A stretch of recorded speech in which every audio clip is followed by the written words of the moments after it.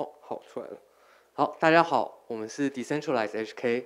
那我们这一次开坑的主题是给我 RSS，许你一辈子，将用 RSS 将网站备份到区块链。先介绍一下我们 Decentralized HK 在做什么。我们的目的都是在做这个香港的史料备份。那我们就是会将香港媒体的内容把它备份到区块链上去做永存。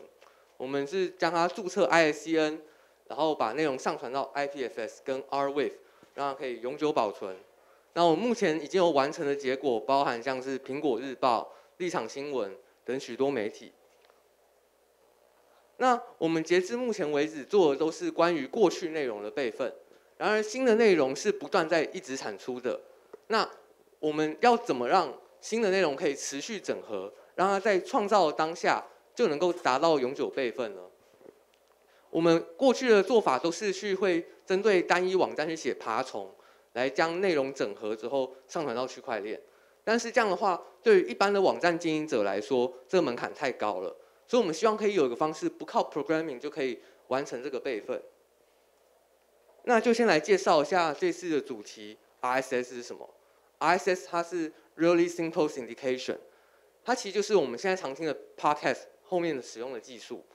它会记，它用一个 XML 文件去记录每一篇文章的 metadata，像是标题、description、它的 URL 这些。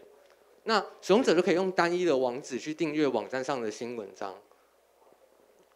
所以它的用途就是可以让使用者只用一个阅读器就可以去订阅所有网站。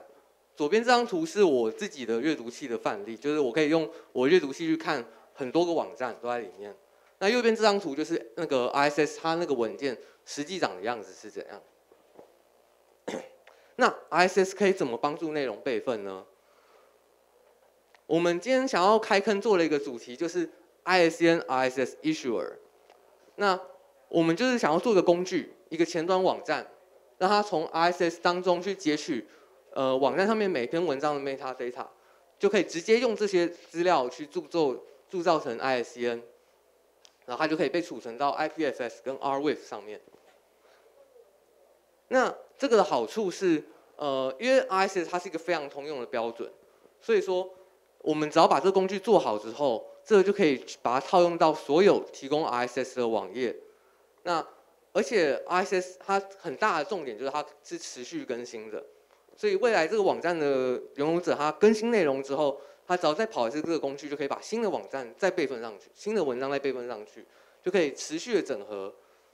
而且 RSS 跟 ISN 它都是开放格式、自由的生态。